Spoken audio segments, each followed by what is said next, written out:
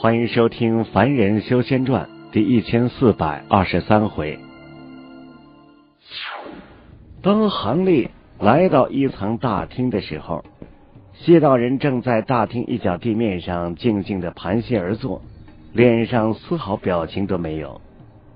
而在大厅的中间，一名肌肤碧绿的木族青年，则正有一些不安的站在那里。韩立的目光只是一扫，就看出了这木族青年不过有元婴期的修为，并且呢，才刚凝结元婴成功的样子。拜见韩前辈，晚辈奉大长老之命，特来请韩前辈动身的。这木族青年一见韩立出现，慌忙上前几步，深施一礼：“大长老，回泽大长老不是已经在圣树中休养了吗？”杭立双目一眯，缓缓的问道：“回禀前辈，现在我们木族大长老职位暂时由子涵长老代理。”哦，原来如此，好吧，前面带路。哎，谢兄，一起走吧。杭立不动声色的点了点头，又冲谢道人招呼了一声。谢道人没有开口说话，但身躯一个模糊，就一下子无声的出现在了韩立身后。那名木族青年见此情形，自然吓了一大跳，但在韩立目光示意之下，却不敢多问，慌忙向门外走去。在他带领之下，韩立和谢道人走出了阁楼，目光往高空一扫，立刻就看到了腾空而起、静静悬浮在高空中的十几座千亩大小的青色云团，在云团上面，隐约可见一些。阁楼亭台，并且众多的各族卫士正匆忙的在上面进出个不停，仿佛呢在从木棉城往这些青色云团上搬运什么东西。韩立只看了几眼，就把目光一收，灯光一起之下，跟着木族青年往空中最大的一座青色云团疾射而去。谢道人则紧跟在盾光之后。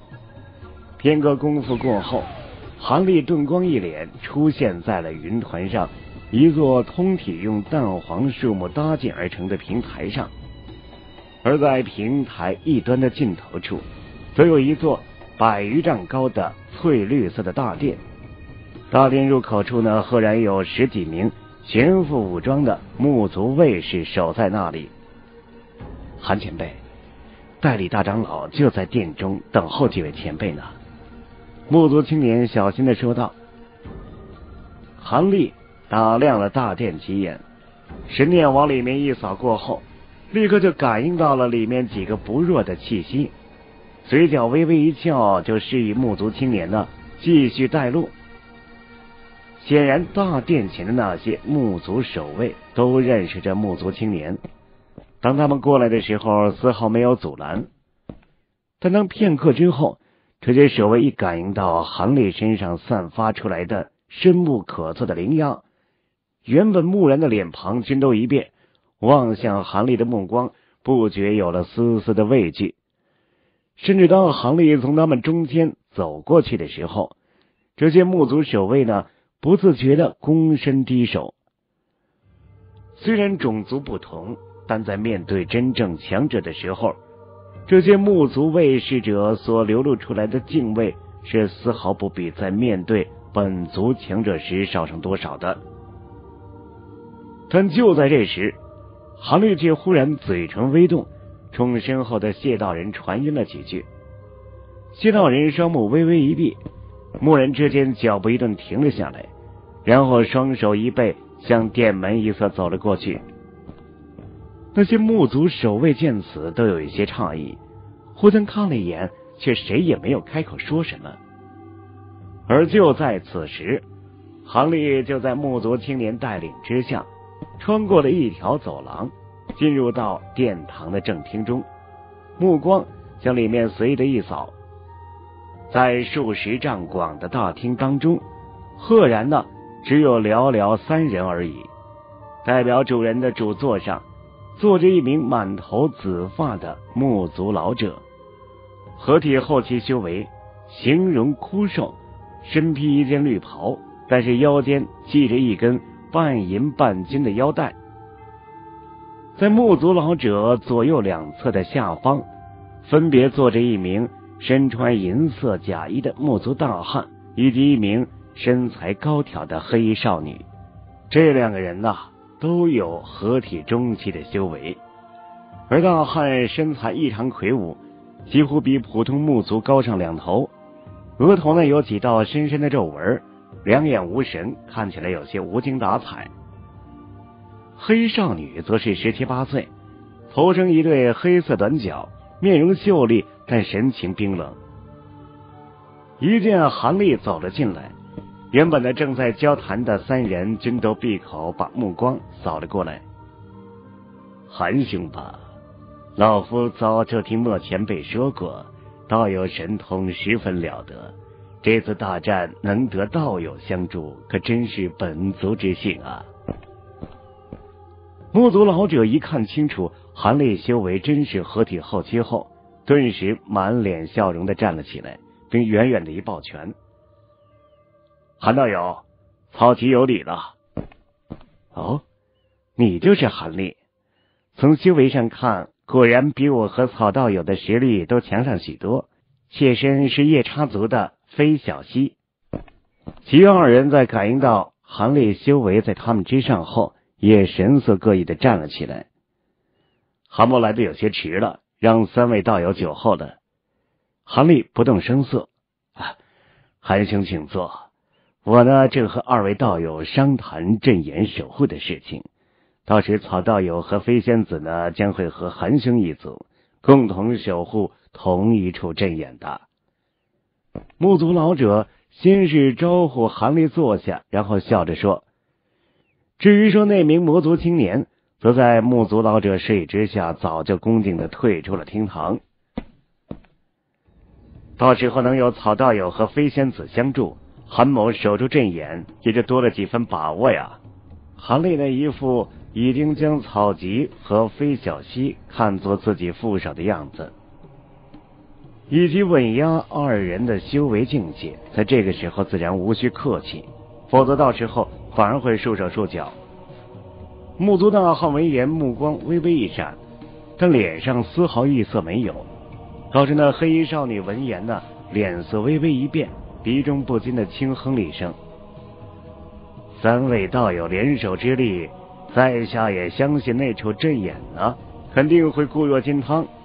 不过，三位驻守阵眼处，除了是保护其不受魔族攻击之外，还另有一个重任在身呐。木族老者说到这儿，停顿了一下。什么？另有重任？我接这任务时，怎么未从我族大长老那里听说过此事？难道是贵族临时增加的吗？黑衣少女啊，眉头一皱，有些不快。啊，这个当然不是了。其实说是重任。到时候主要是草道友的任务，韩兄和飞仙子的任务仍然是守护好阵眼。木族老者毫不在意的解释：“草道友到时候到底要做什么事情？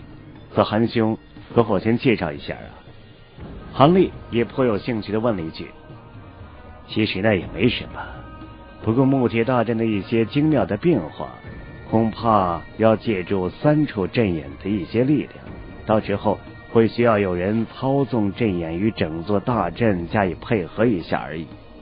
而有关操纵阵眼变化的法诀，已经传授给了草吉等三人，只不过在他们激发阵眼力量的时候，还是需要其他道友多加守护啊。好，原来如此，这个自然没有问题。木阶大阵。原本就是贵族的镇族大阵，阵眼自然还是由贵族之人操纵才合适啊。韩立微微一笑，毫不介意。我也没有问题，这眼就交由草青负责就是了。黑衣少女思量了一下，也点头答应。好，我就知道二位道友肯定会鼎力相助啊！一等大阵布置好，这二号阵眼就全部交给三位了。木族老者大喜，再次起身，冲着韩立三人深施一礼。子涵长老放心，不敢，我等自会尽力。韩立三人呢，自然也起身回礼一番。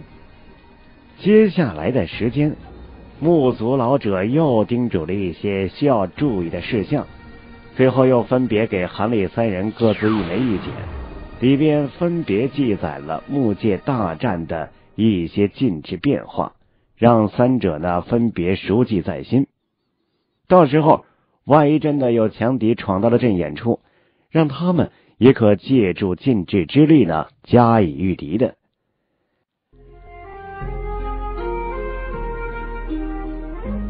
畅听网有时候聆听也是一种力量。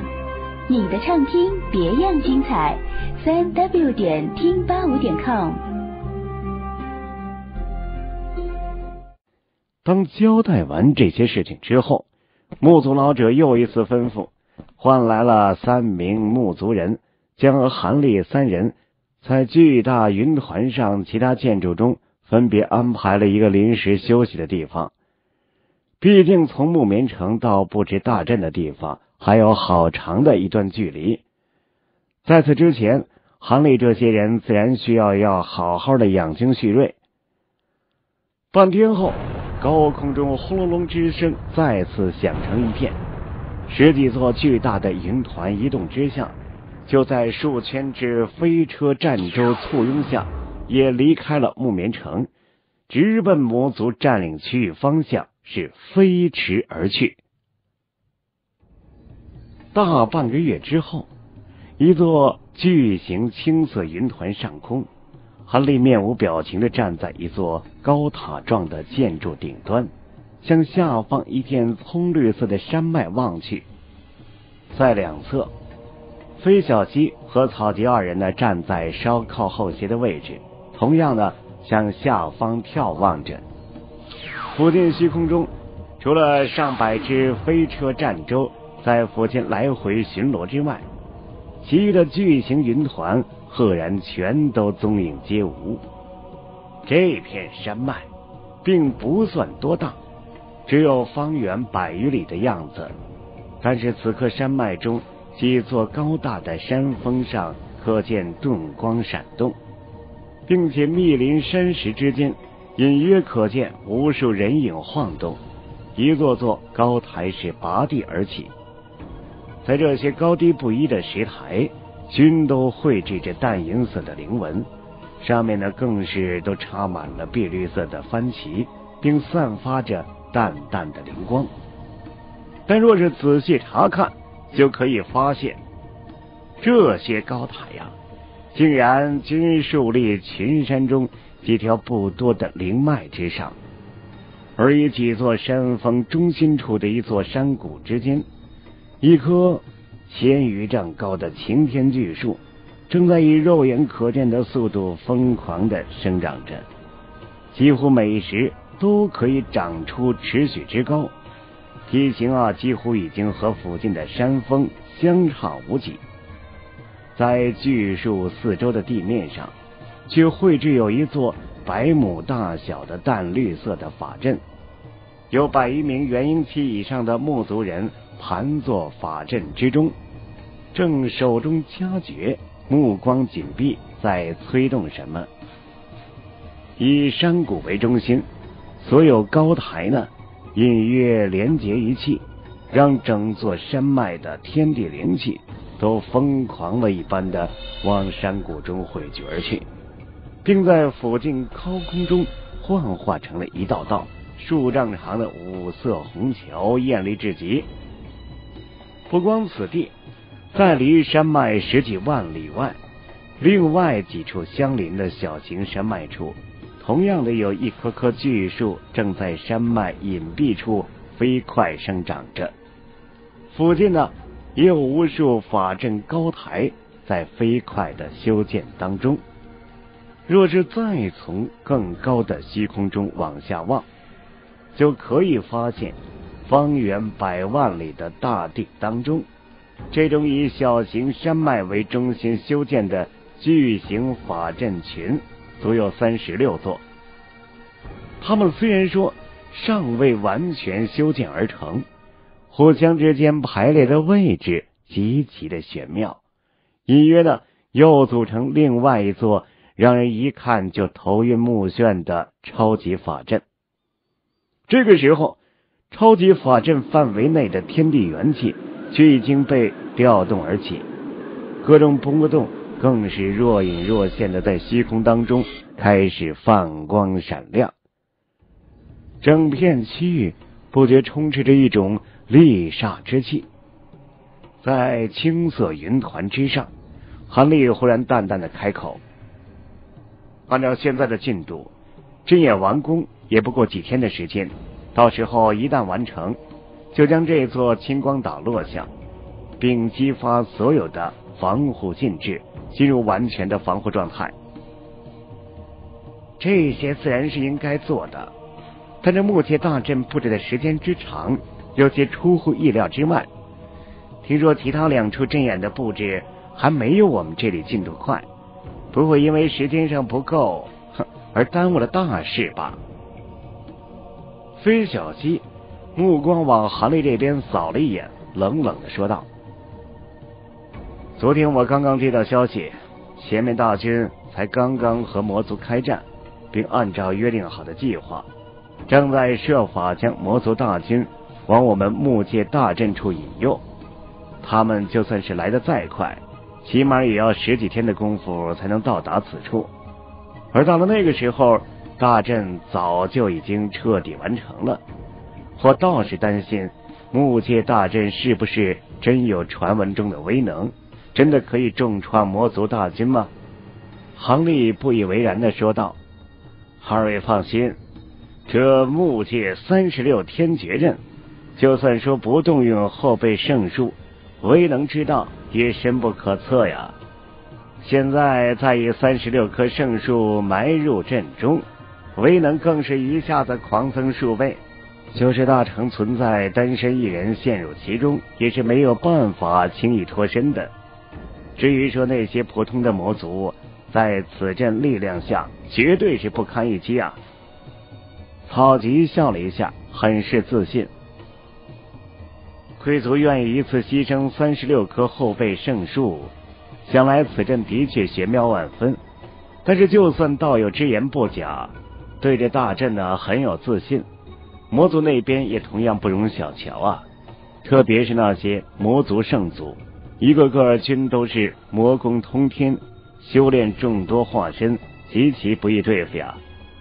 韩立缓缓说道：“魔族圣祖纵然厉害，自然会有我族大长老和贵族莫长老他们出手钳制的，我们何必杞人忧天？”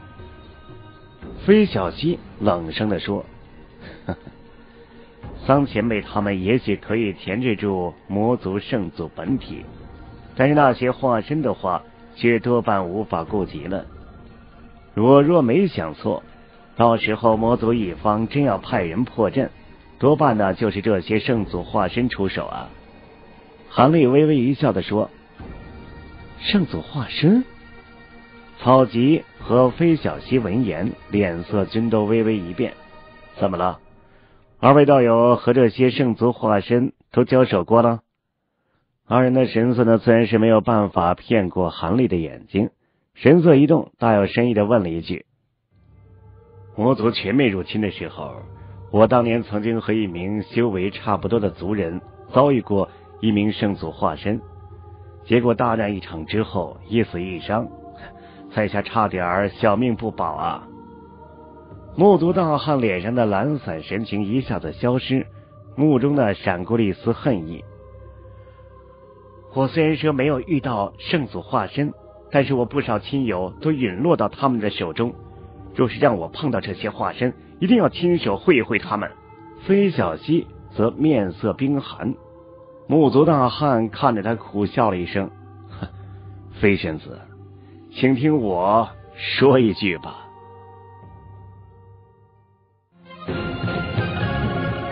欲知后事如何，欢迎各位继续关注收听《凡人修仙传》第一千四百二十四回。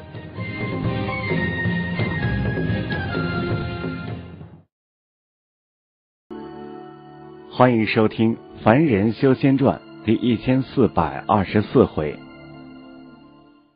木族大汉苦笑了一声：“飞仙子啊，听我一言，你若真是单独一个人碰到了那些圣祖化身，最好还是扭头就跑，否则的话，只能是白白牺牲而已啊。”飞小溪哼了一声，虽然说没说什么，但是明显的没有听进去。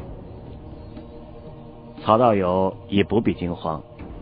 若是这木界大阵真像你所言那般玄妙，借助此阵的禁制之力，我们也并非说没有和这些圣祖化身一战的力量。当然，这是指一对一的情况之下。若是一口气儿来的太多，说不得只有另想办法了。韩立淡淡的开口说道：“另想办法。”韩道友，莫非还准备了什么后手不成吗？曹吉双眼一亮，不禁问道。飞小溪这个时候也有些意外起来。既然在下被派来镇守这二号阵眼，自然事先也做了一些准备的，但是到时是否真的能够应对了强敌，却不太好说呀。韩立摸了摸下巴，轻描淡写的回答。韩兄原来真的是有了其他的准备，如此的话，我等就放心的多了。木族大汉长出一口气，神色也是为之一松。听韩道友的口气，似乎对这些魔族圣祖化身颇为了解，难道也和他们曾经正面交手过不成吗？飞小溪却漠然的问道：“韩某的确和他们遭遇过几次。”韩立沉吟了一下，这才平静的回了一句：“但不知韩道友胜败如何呀？我可听说这些圣祖化身可比一般的合体后期要厉害的多。”飞小溪眸光闪动，口中丝毫不放的追问：“曾经杀过两三个，但也被其他化身追杀千万里之远呢。”韩立神色丝毫不变。但口中说出的话，让夜叉族少女和木族大汉都是目瞪口呆。韩兄曾经斩杀过魔族圣祖化身，在下明白了，肯定韩道友统帅过族中大军，这才能凭借大军之力将那些圣祖化身硬生生的困死的。曹吉马上又有些明白般的说道。崔小溪闻言也不觉得有些恍然。以韩立的合体后期修为，若是再借助大军之力围杀一名圣祖化身，倒真有几分可能了。以前的事情都无关紧要了，重要的是，若是圣祖化身真的一口气儿来的颇多，二位道友借助大阵之力各自缠住一名就行了，其他的。全交给韩某应对就行。韩立嘿嘿一笑，没有直接回答木族大汉所问，反而呢胸有成竹的说道：“既然道友如此有把握，那到时候就多靠韩兄处理了。”草吉呢虽然说心中有些惊疑，但是口气却不觉带了一丝敬畏，并表明了。防守之事就以韩立为马首的意思。毕竟说，不管韩立当时击杀圣祖化身的时候，是不是借助了族中大军之力，但是既然呢，敢在他们二人面前说出来，这个战绩自然不可能有假的。只要道友真的有办法应对其他的圣祖化身，小妹自然也甘愿听从吩咐。飞小溪。神色阴晴不定变化了一番之后，终于也微微一躬身说：“好啊，既然二位道友信得过在下，韩某自然也会竭尽全力。”韩烈微微一笑，不加思索的一口答应了下来。就这样，韩立终于正式确立了在这二号阵眼的统帅地位。在接下来的数日之中。韩立三个人开始轮流监察着下方阵眼的布设。五天之后，二号阵眼附近的层层法阵禁制终于全部完工了。所有木族卫士和大量阵法师纷纷返回了巨大云团上的各种建筑中，而青色云团在韩立的主持下，轰隆隆的从高空一落而下，正好落在了擎天巨树所在的山谷旁边。与此同时，擎天巨树只是光芒一闪，顿时啊，附近的天地元气为之滚滚骚动了起来。无数淡绿色的光点从虚空中狂涌而出，然后纷纷的没入到了整条山脉中。一阵连绵不绝的轰鸣过后，所有高台上阵旗一阵地动山摇般的晃动过后，顿时啊。一层层光幕凭空浮现，整齐而出。接着，阵阵绿气从山脉各处狂涌而出，瞬间将所有的山峰都淹没进了其中。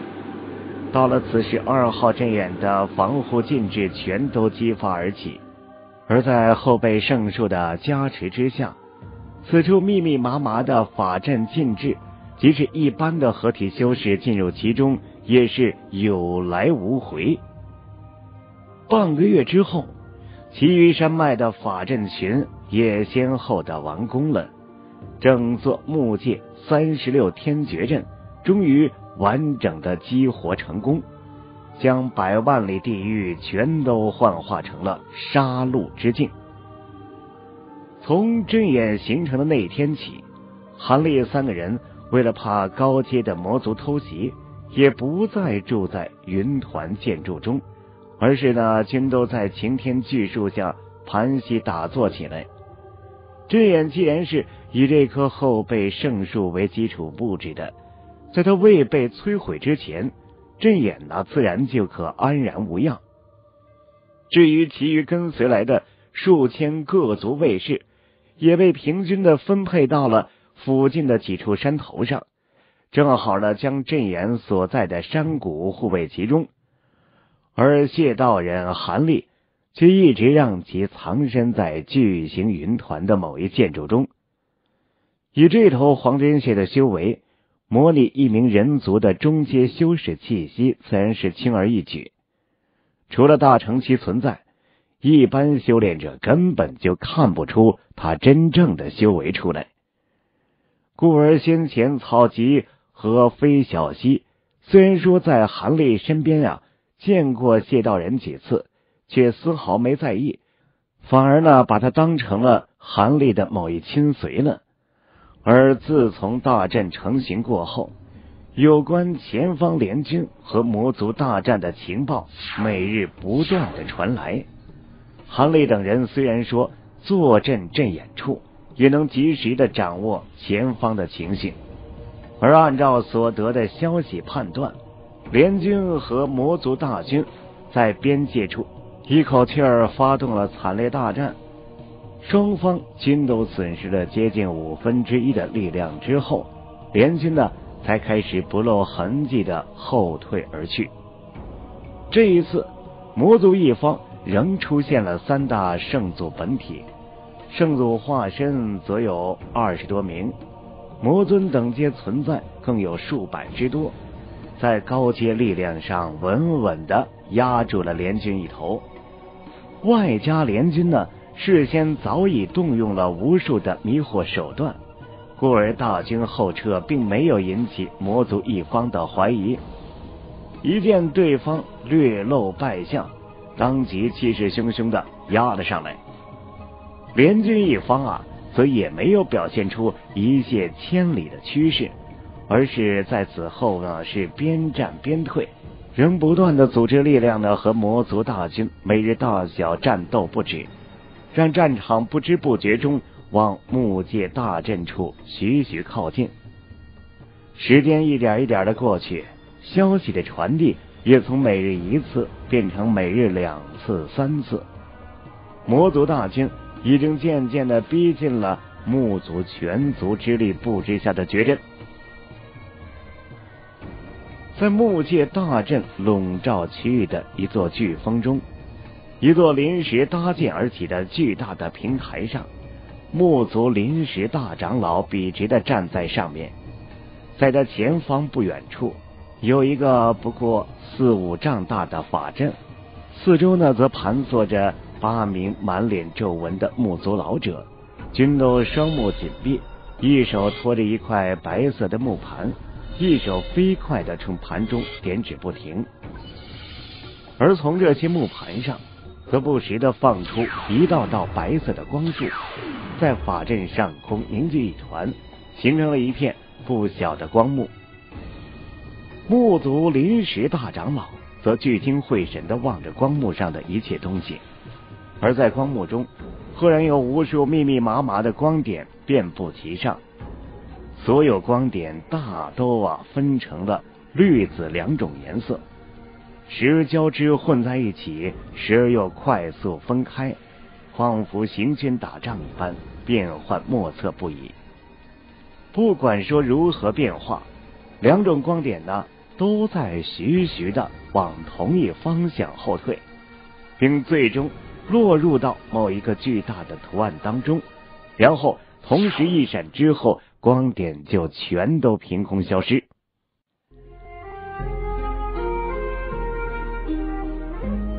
畅听网，有时候聆听也是一种力量。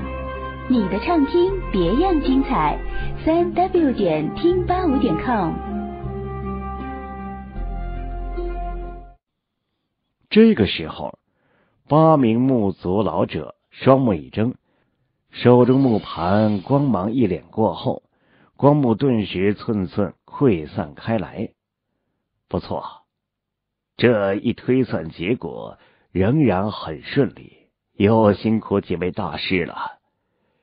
木族临时大长老见此情形，脸上流露出了一丝笑容，竟对那八名木族老者十分客气。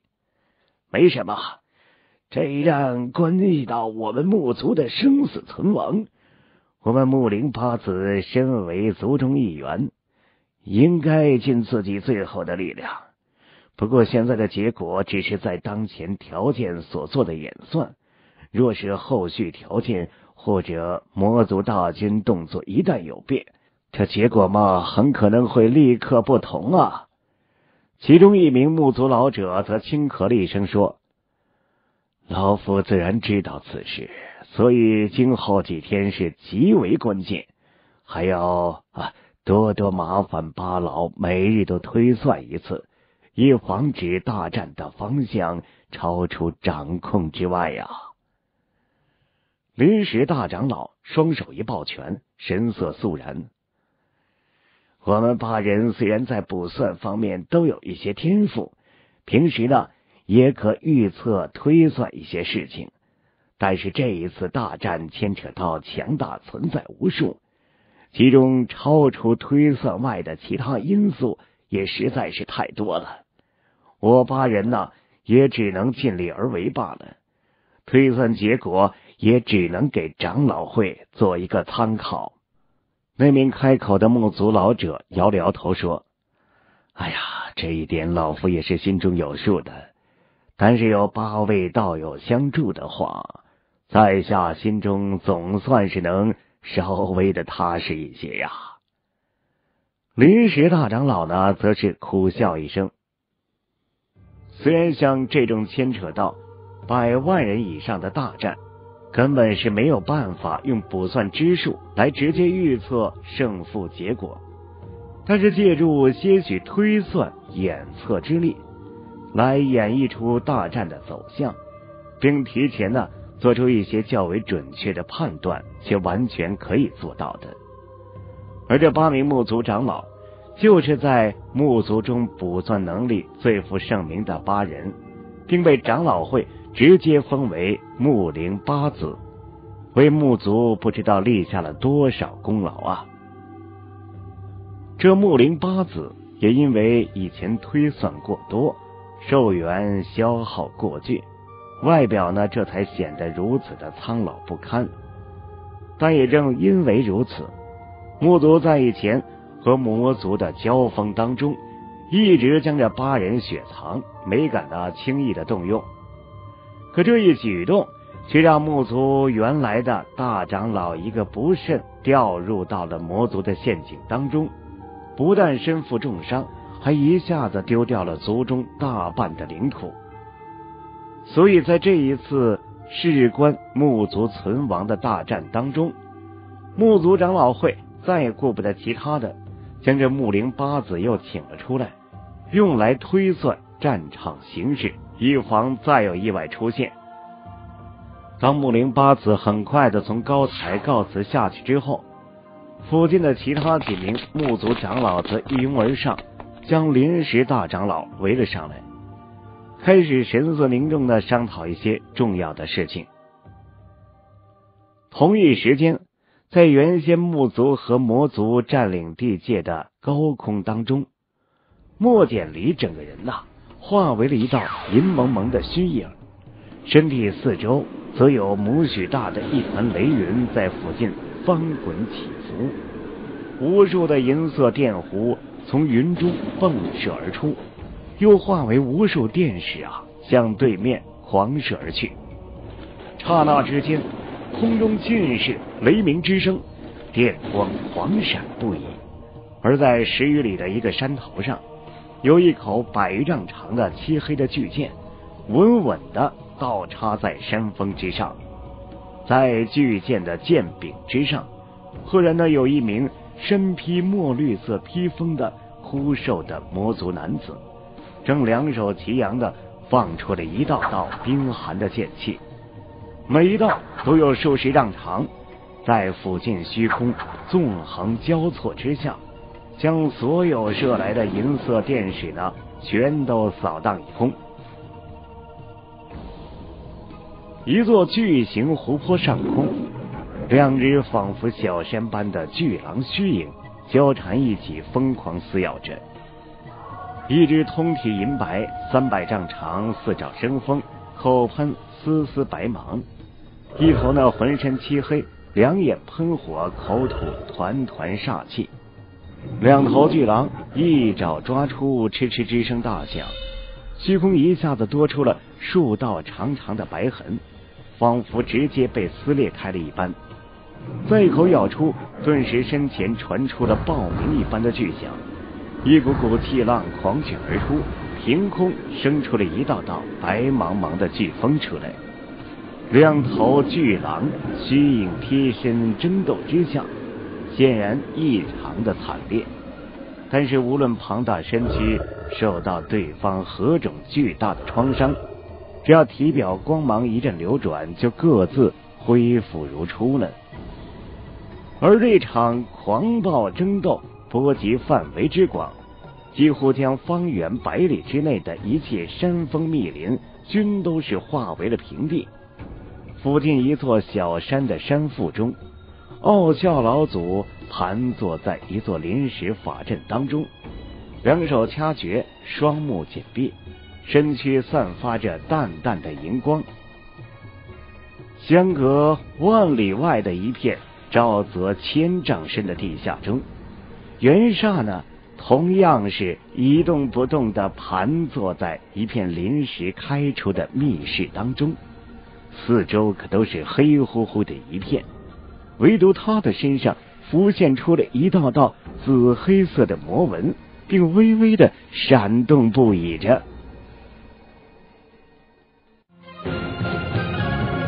欲知后事如何，欢迎各位继续关注收听《凡人修仙传》第一千四百二十五回。